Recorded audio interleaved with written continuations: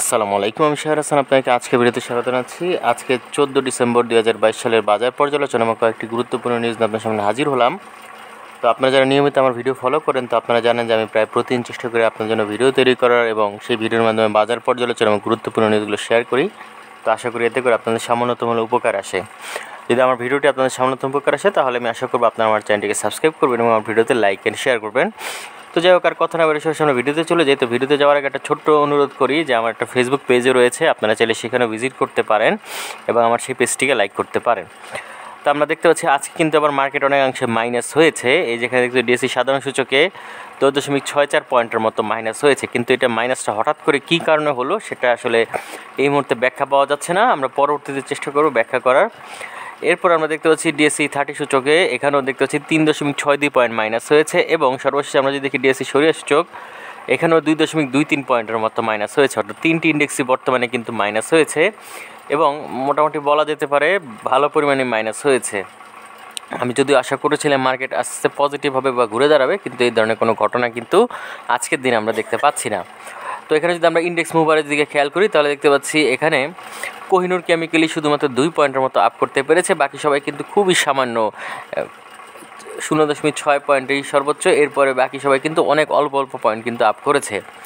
এছাড়াও যদি আমরা মার্কেট ড্রাইগারের ক্ষেত্রে দেখি, তাহলে দেখতে পাচ্ছি ওরিয়ন ইনফিউশন বেক্সেমকো ফার্মা এরা কিন্তু অনেক বেশি পরিমাণ পয়েন্ট মাইনাস করেছে। এছাড়াও ওরিয়ন ফার্মাও আমরা দেখতে পাচ্ছি যে মোটামুটি ভালোই পরিমাণ কিন্তু পয়েন্ট মাইনাস করেছে। এখন এই ওরিয়ন শেয়ারটা বা এই ওরিয়ন গ্রুপটা কিন্তু একটা অবজারভেশনে রাখা উচিত, কারণ এটা কিন্তু এমনিতেই ওভারভ্যালুড পর্যায়ে রয়েছে এবং অনেক বেশি মূল্য বৃদ্ধি পেয়েছে এবং মাঝখানে কিন্তু আবার ঘুরে দাঁড়ানোর একটা চেষ্টা করেছিল। এখন যেই বিষয়টা হচ্ছে যে এই ধরনের ক্ষেত্রে মাঝে মাঝে শেয়ারগুলোর মূল্য বৃদ্ধি পায়, এরপর আবার কারেকশন হয়, এরপর আবারও মূল্য বৃদ্ধি পেতে পারে। এটা হচ্ছে একটা গেমলিংয়েরই ওয়ান কাইন্ড অফ একটা সিস্টেম বা আমরা বলতে পারি এটা একটা পজিশন যে এভাবে করে গেমলিংটা হয়। এর কারণ হচ্ছে এরকম একটা জিনিসটা বোঝানোর চেষ্টা করা হয় যে আর হয়তো বাড়বে না। তখন আবার কি করে যে পরবর্তী ধাপে কিন্তু আবার বাড়তে শুরু করে। অর্থাৎ যে ক্লায়েন্টকে বা সাধারণ বিনিয়োগকারীদেরকে এরকম একটা জিনিস বোঝানোর চেষ্টা করা হয় যে একটা সময় হয়তো এরকম একটা পরিস্থিতি আসবে যে এটা হয়তো সামনের দিকে অনেক অনেক দিন ধরে বাড়তে থাকবে। তো এই ধরনের একটা জিনিস যখন সিকিউর করা যায় বা বোঝানো যায় সাধারণ বিনিয়োগকারী তখন কিন্তু তারা ওই সেটিতে বিনিয়োগ করা শুরু করে এবং একটা সময় এসে তারা কিন্তু ধরা খায়। এই হচ্ছে বিষয়। তো এরপরে যদি আমরা দেখি এখানে টোটাল ট্রেড স্ট্যাটিস্টিক্স তাহলে দেখতে পাচ্ছি আজকের দিনে মাত্র সাতাইশটি শেয়ার আপ হয়েছে। এছাড়াও দুশো আটচল্লিশটি শেয়ার অপরিবর্তিত অবস্থায় ছিল এবং উনসত্তরটি শেয়ার কিন্তু আজকে মাইনাস হয়েছে। অর্থাৎ কিন্তু দেখতে পাচ্ছি বেশিরভাগ শেয়ারই কিন্তু ফ্লোর প্রাইজে অবস্থান করছিল এবং অপরিবর্তিত অবস্থানে ছিল। এবং টাকার অঙ্কে যদি আমরা লেনদেনটা খেয়াল করি, তাহলে দেখতে পাচ্ছি আজকের দিনে টাকার অঙ্কে লেনদেন গত দিনের তুলনায় অনেকাংশে কম হয়েছে, যেটা ছিল গত দিনে ছয়শো ষোলো কোটি টাকা, সেখানে কিন্তু আজকে দেখতে পাচ্ছি চারশো তিরিশ কোটি টাকা, যেটা আসলে সত্যি একটা হতাশাজনক যে আবারও লেনদেন কমে যাচ্ছে, যেটা আমি আশা করেছিলাম হয়তো লেনদেন বৃদ্ধি পাবে।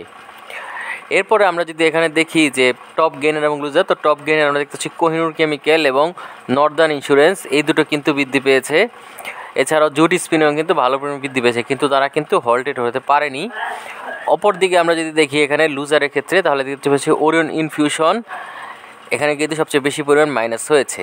এছাড়াও মুন্নু এগ্রিকালচারাল মেশিনারিজ এটাও কিন্তু আমরা দেখতে পাচ্ছি মাইনাস হয়েছে। তো আমরা মুন্নু নিয়ে একটা নিউজ আলোচনা করব। সামনের দিকে, তাহলে আপনারা জিনিসটা বুঝতে পারবেন যে বর্তমানে মুন্নুর এই অবস্থা কেন? এরপরে যদি আমরা এখানে যদি দেখি টাকার অঙ্কি লেনদেনের ক্ষেত্রে, দেখতে পাচ্ছি আজকে টাকার অঙ্কি লেনদেনে ইন্ট্রাকো সিএনজি সবচেয়ে বেশি হয়েছে। এছাড়াও মুন্নু সিরামিকও কিন্তু মোটামুটি ভালো পরিমাণে লেনদেন হয়েছে। টাকার অঙ্কে, এছাড়াও সালভো কেমিক্যালও একই অবস্থা, ভালো পরিমাণে লেনদেন হয়েছে। এবং আমরা যদি এখানে মার্কেট ম্যাপটা নিয়ে যদি আলোচনা করি, তাহলে দেখতে পাচ্ছি আজকের দিনে জুট সেক্টরটা কিন্তু সবচেয়ে বেশি পরিমাণ লেনদেন হয়েছে। মানে জুট সেক্টরের শেয়ারগুলো ভালো পরিমাণ মূল্য বৃদ্ধি পেয়েছে। এছাড়াও যদি আমরা খারাপের কথা চিন্তা করি, তাহলে দেখতে পাচ্ছি service and real estate IT sector, এগুলি কিন্তু মোটামুটি খারাপ অবস্থানে ছিল।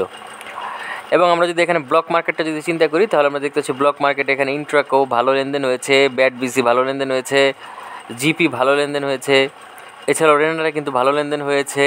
তারপরে আমরা দেখতে পাচ্ছি সাউথ বাংলা এগ্রিকালচারাল ব্যাংক, এটাও ভালো লেনদেন হয়েছে। তো এই হচ্ছে বিষয়, এই কয়টি শেয়ার কিন্তু আজকের দিনে ভালো লেনদেন হয়েছে। তো যাই হোক, এই হচ্ছে আজকের দিনে বাজার পর্যালোচনা। তো চলুন আমরা এখন চলে যাচ্ছি গুরুত্বপূর্ণ নিউজে তো তো প্রথমে আমরা যে নিউজটি আলোচনা করব, সেটি হচ্ছে মুন্ডু গ্রুপের শেয়ার নিয়ে ফের কারসাজির অভিযোগ।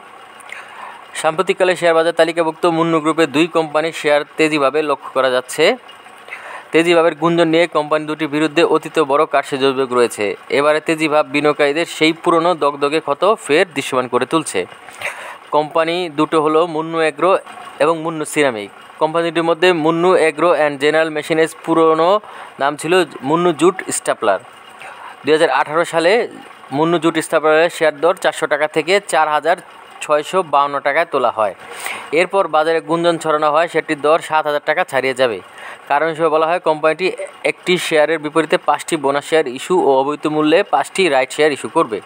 এতে বিনিয়োগকারীদের শেয়ারটির প্রতি হুমড়ি খেয়ে পড়ে। উল্লেখ্য দুই হাজার আঠারো সালে বারো নম্বর এই শেয়ারটির দর চার হাজার ছয়শো বাউন্ন টাকা সত্তর পয়সা উঠে যায়। আর এই সুযোগে কারসাজিকারীরা শেয়ারটি চড়া দরে সাধারণ বিনিয়োগকারীদের কাঁধে ফেলে সটকে পড়ে।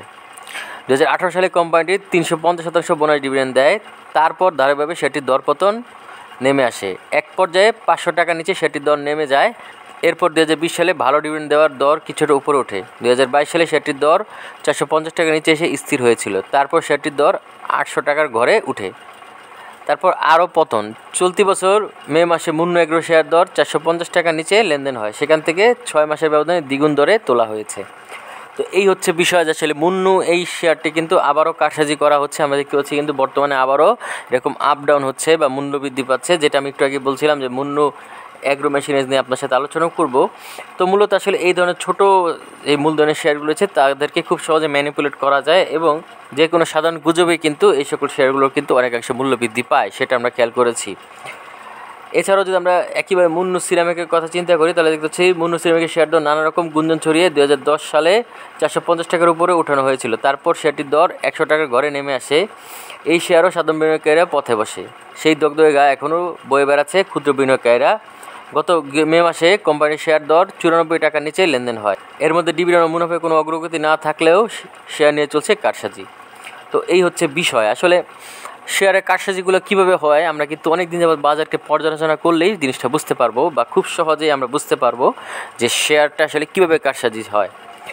তো এর একটা বড় পদ্ধতি হচ্ছে প্রথমে আগে এই শেয়ারগুলোকে মার্কেট আউট করে দেওয়া হয় বা অনেক হিউজ পরিমাণে লেনদেন হয়, সেটা হতে পারে ব্লক মার্কেটে অথবা নর্মাল মার্কেটে এবং এটা কিন্তু আসলে মূলত এই ধরনের কারসাজিকারীরা কিনে নেয়। এবং যখন বাজারে সংকটটা সৃষ্টি হয়, তখন তারা আস্তে আস্তে এটা মূল্যটাকে বৃদ্ধি করতে শুরু করে এবং যখনই মূল্যটা অনেকাংশে তাদের আশানুরূপের মতো হয়ে যায়, তখন তারা কিছুটা কারেকশন করে।